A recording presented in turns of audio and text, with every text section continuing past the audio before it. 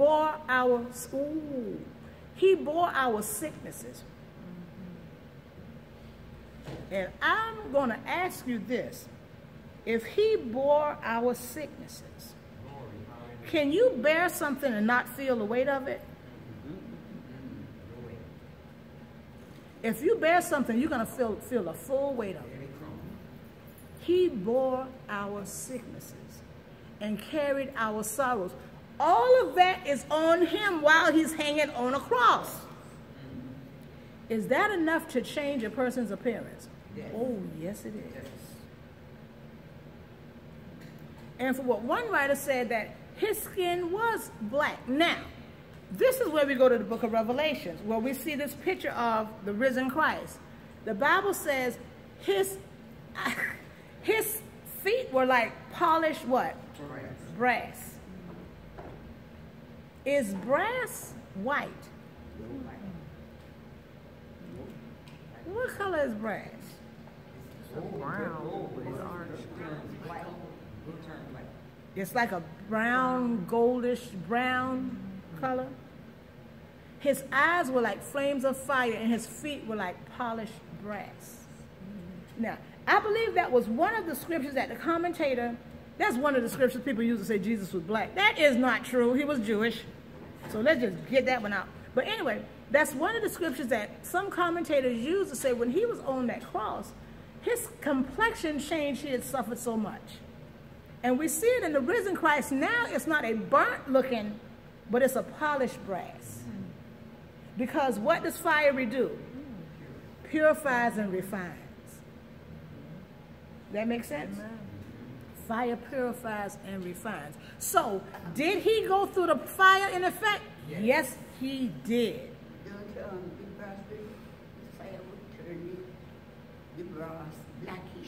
You, it was blackish? said with the fire turning black. Okay, so uh, mother said, now the uh, listeners to hear this, mother said that when you saw it, that brass turns like a blackish color when it comes through the fire. She's asking. Oh, she's. Oh, you're asking that. Does it turn a blackish color? I would say it does, and we can look it up and find out. I would say it does. Because when you burn something, it goes through a chemical change. And nothing gets burned and turned lighter than it was. When it gets burned, it gets black. So I would say yes. And so we can, you know, do some YouTube videos and see some uh, brass going through fire and see what colors it turns. We can do that. But I guarantee it does turn black. Yeah. So he went through the fire. The lamb went through the fire. Typology of Christ, Passover. Here we go. You should eat it, okay, with your loins girded, your shoes on your feet, your staff in your hand. Make haste, for this is the Lord's Passover. What was the significance of having their loins girded, their shoes on their feet, staff in their hand, you fully dressed? Because they had to get out fast. Because they had to get out fast. Now, this goes to this fact. When God delivers you, it won't, our deliverance don't, won't always come the way we want it to come. Okay? Say, for example, you're going from one job to another. You want everybody to be happy for you. But it may not happen like that. Your transition from one job to another may mean you're getting fired. And that may be your transition. The children of Israel's transition out of Egypt didn't come with Pharaoh shaking Moses' hand and saying, good job, that was the best 430 years of y'all life. No. Amen. Pharaoh did not tell him that. Y'all was such good employees. If you ever need a reference because you're enslaved in another nation, just let me know. No. He didn't do that. Moses knew y'all better be dressed and ready because we're getting out of here. We're going to have to get out of here, and we got to get out of here quick. Because when it's sinking on Pharaoh, what he just did, the man done changed his mind by two or three times before. So, when he get the, when his brain registers what he just did, we better be good and getting and out of here. So, they were fully dressed, ready to go. And it says, it is the Lord's Passover. It is the Lord's Passover. So,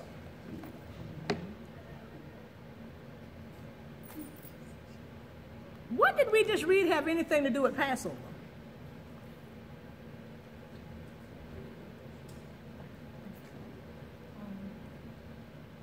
Because we know the Passover was when what the death angel came and passed over. So in the passages we just read, if we didn't know this was the Passover, how would we know? But this is the Lord's Passover. This is what Moses said. certain kind of food in a certain kind of ways. Okay. Now, from what we read, we know this in hindsight. Okay? Mm-hmm. From what we've read, because Moses hadn't said anything right here about the death angel coming. So what we read, we know in hindsight. How would they know? Well, number one, the story not over yet. So I would say that would be a premature question for me to ask. so, so number one, the story is not over yet. But the bottom line is this: what Moses is telling you, you better do it whether you understand it or not. Right. True. When God gives instruction, you better do it whether you understand it or not. That's the bottom line. Lord, I don't under, well, I didn't ask you to understand. I asked you to I told you to do it. That's right. Just do it. Just do it. That's the key. Because if they had questioned him, which is what a lot of uh, folks do today, they'll question you. Well, why this? Well, why that? Well, why the other thing? Why do I need to get out the street? Why is that truck coming so fast? Um, by the time you finish asking adult children why you need to get out the street and why is the truck going at 80 miles an hour when it should be going 55, you're dead. Lord our God. Yes, sir. That's right. If they say move, just move. Just move. Does that make sense? If you see, because you see further than a five-year-old child can see. In God's view, we're less than five-year-old. And he's eternal. He's seen the beginning and the end. He is the beginning and the end. He knows what's going to happen. So God, I don't understand why you're telling me to do this. Just do it. You'll understand it better by and by. Yes, ma'am. And I think just like road signs. Yes. It says pedestrian, those are signs that we ought to. Not just go past because you just see it on the side of the road. Right. Those are signs that the government made for us to go by. Yes. You have to go by. If you break, you don't go by, you break the law. Yeah. That's the same thing. And I mean, and not only can uh, do you break the law by ignoring the sign, Right. you could be breaking your life Right. by ignoring the sign. Or somebody else. Yeah, or somebody else's by ignoring the sign. Do what you're told to do. So God tells he tells Moses this, and then he said, it, and then Moses said, "For it is the Lord's Passover." At this point, I don't know if they understood exactly the significance of this, but all they knew was that they had an instruction they were supposed to follow. Mm-hmm. And then he goes and explains, "For I will pass through the land of Egypt this night." In other words, it's going to happen tonight all and will smite all the firstborn of the land of Egypt, both male and beast, and against the gods of Egypt will I execute judgment. I am the Lord. Now, this is the reason why. We're not holding no conference. I'm telling you, this is the Lord's Passover. They didn't. They, this was no see what Q and A session. He says, God says, I'm going to pass through the land of Egypt, and that the firstborn of every Egyptian is going to die both male and beast. And against all the gods of Egypt will I execute judgment. How is he executing judgment against the gods of Egypt? He's showing them up as frauds. And the blood shall be to you a token upon the houses where you are. And when you when I see the blood, I will pass over you. So you didn't understand why you was collecting the blood at first, but now I'm going to tell you, it's a token. Why, why, Moses, you want us to put all this blood all over our doorposts? Now I'm going to tell you, because when I see it, I'm going to pass over it. And the plague shall not be upon you to destroy you when I smite the land of Egypt. Once again, God is making a difference. The plague is not going to be upon you to destroy you when I smite the land of Egypt. Now, check this out. The plague is not this plague is not for you because you're going to be obedient and do what I say. If the children of Israel did not apply that blood, they would have died. Because the blood was the token. So if they didn't have the blood, they would not have had the what? Token. And the death angel was going to visit the houses of those that did not have the blood. So if they was disobedient and did not have the blood, what you think would happen? Firstborn of that house would have died. That's what would have happened. That's why it's important to follow instructions. It's going to be a token. It's a token. Oh, moment. You can be saved any kind of way. As long as you say you believe, you saved. It doesn't matter about the blood of Jesus. You just saved because you say you saved. Is that God's way? Uh-uh. uh-uh. You can be saved and be just as disobedient Right. as the day is long, and you still saved. Mm. Oh, really? You can be saved no matter what you believe. Oh, really? I don't need Jesus. Oh, really? Uh-uh. I don't need the blood. Oh, really? Now, the blood is that token. When I see the blood, I'm going to pass over you. If I don't see the blood, I'm stopping by your house. so you still think you can do it your way? My God. Oh, really? He said, and the plague shall not be upon you to destroy you. In other words, it's not my desire to destroy you. When I smite the land of Egypt, when judgment comes, it's not my desire to destroy you. And this day shall be unto you for a memorial, and ye shall keep it a feast unto the Lord throughout your generations, and ye shall keep it a feast by ordinance forever. Now, Passover. Trader, the significance of Passover is this. In the church, for many years, the church celebrated Passover a long time ago. They did not, during the time of the apostles, they celebrated Passover. They did not celebrate Easter. Ooh. They celebrated Passover. Uh huh. Paul celebrated Passover. hmm He did not celebrate Easter. God told them to keep Passover forever. Well, Sister Scott, Jesus came, Jesus died, he's our Passover, so we don't have to celebrate Passover. I respectfully disagree with that. and the reason why I respectfully disagree with this is because as we read, we're going to see in the Word of God how, and hopefully it's going to be next week, it wasn't just Jews that came out of Egypt. There was a mixed multitude. And that entire mixed multitude, if they wanted to live, had to apply the blood. Because there were some others that weren't Jews that believed. And I- hopefully we'll read that next week. There was a mixed multitude. Everything wasn't Hebrew that came out of Egypt. Because the only slaves in Egypt were not Hebrews. They had many nations that were slaves Yes. in yes. Egypt. And God said, and Moses reiterated it, all of us, even the stranger in your ooh, gate, mm-hmm. My God. My God. was supposed to keep it. Now, I need a bold soul to do this. Research this week when the church started celebrating Easter. Because Easter was actually a Babylonian celebration. For Ishtar. Yep, say it again. For Ishtar.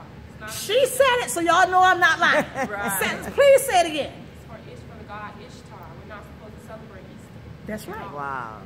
It's a pagan holiday. It's a pagan Yes, it is. holiday. Yes, ma'am. So now I got a witness. She knows. Okay? Now, there's, I think there's two places in the Bible where the word Easter is mentioned. And one I believe was when Paul was on this ship and he was about to be shipwrecked, and then he mentioned the word Easter. But he wasn't talking about it as in you need to celebrate. Because remember, it was a Babylonian holiday. And the other mention of the word Easter is in one of the epistles. And this particular mention of the word Easter midnight was actually the word uh, Passover, but the King James scholars translated it as Easter. So something got lost in translation. Ishtar is the goddess of sex and fertility. That's why it. they have bunnies and eggs. That's where the bunnies and eggs came from. It's crazy. We're not supposed to celebrate it at all. Come here. I want you to All say right, this. come Come. Please come say this. So y'all know I am not lying. I am not lying. Yes, ma'am. I'm giving you the floor. Please say it. Just like you did. Be bold. Be brave. The Lord that God is with you. Come on, say it. Please. Yes, ma'am. Um, E- Easter is a play on the goddess Ishtar, and um, it's, she is the goddess of fertility and sex. It's a Babylonian deity that is a pagan god. It's not of Christianity at, at all. And um, we're not supposed to be celebrating Easter at all. It's a pagan holiday. Just like Christians are not supposed to do yoga.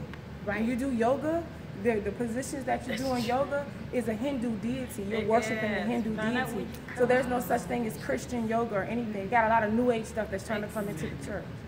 So we just have to be aware. You're so right. Yes. Oh Can gosh. y'all say thank you, Lord? Thank you, Lord. Yes. I'm not lying to you guys. She's telling the truth. She is telling the truth. That's where you get bunnies and eggs. Bunnies don't lay eggs, okay? I remember Bishop Anderson used to say that. Bunnies don't lay eggs. But that's where you get bunnies and eggs and buying new clothes and hot cross buns and all that. That's where that stuff comes from. And if I'm not mistaken, I think America didn't start celebrating Easter until the 1800s. Hello. I think it was either 1871 or 1851.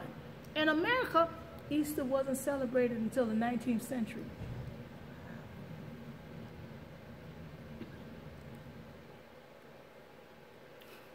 Seriously. Okay, so, ooh, thank you, Lord. I am, Lord, I thank you for Sister Kiwana. God, I thank you for Sister Kiwana. God, I thank you for Sister Kiwana. Thank you Lord. You guys, thank you, Lord. research things. Find out where it came from. Okay? Please. Passover is supposed to be celebrated from generation to generation. Now, one thing I will say, I'm seeing that a lot of churches now are beginning to warm, Christian churches are beginning to warm up to the idea of Passover. Because Christian churches are now beginning to take on some Jewish traditions. And there are some that's beginning to warm up the Passover because they're realizing and they're learning that, wow, that's not biblical. They're learning that. And I believe this is not the gospel of Matthew, Mark, Luke, and John. This is according to um, J. Scott 315. Okay? I believe that the time is going to come where you're going to have Christians and Jews are going to come together in harmony and unity. And it's not going to be because the Jews forsook everything they believe. They don't have to forsake everything they believe. And it's not going to be because the Christians forsook everything they believe.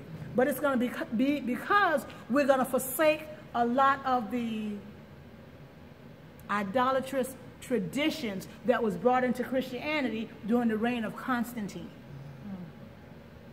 And when we start forsaking some of those idolatrous traditions that was brought into the church, in order to get people to want to join the church, wow, Right. then we're going to start being refined, and then we're going to start coming together, and then we're going to come into the unity of the faith. And there's no longer going to be Jew and Gentile, Greek or Scythian or male or female, but then we can be one. Because it's those extra things that separate us. It's not the word. It's those extra little things that we take on. That's what's causing us. Yes, ma'am. Separation. Yes, ma'am. And one more thing, um, I've been following the um, Jewish calendar for the past couple of three years, just um, trying to get on God's timetable. Yeah. Because you know we follow the Gregorian calendar. Just what you were saying. um, Girl, you good. and so September 29th was, was the Sunday that Prophetess Black was here. Was actually the first day of the new year in the Jewish calendar, which was Rosh Hashanah. So how fitting that God had a prophet Yeah. set us in order on the first day of the new year in God's new year. So Wow. actually, we was, in, we was in Rosh Hashanah. We was in the Jewish New Year started September 29th. How many weeks are we from Rosh Hashanah? I don't know. Today is the 20th. And now, ooh, 'cause I'm- oh, four weeks. Mm, we're four weeks from Rosh Hashanah. Wow. How many days from Passover did they kill the lamb? Four. Ooh, Wow. ooh, good. Ooh, Lord. My Did y'all get that? Yes. Hallelujah. Wow. One more question. What year is it on the Jewish calendar? Can you pull that up? What year is it on the Jewish It's calendar? 5780. 5780 Yeah. on the Jewish calendar. Okay, I'm done. I'm done. Ooh, that was good. I'm done. Thank you. Thank you. Thank you. I hope you guys learned something. I did. Yes. I really did. That is just awesome. Wow. Four weeks into the Jewish New Year. Okay. Thank you, Jesus. Got it. Yeah, yeah. Okay.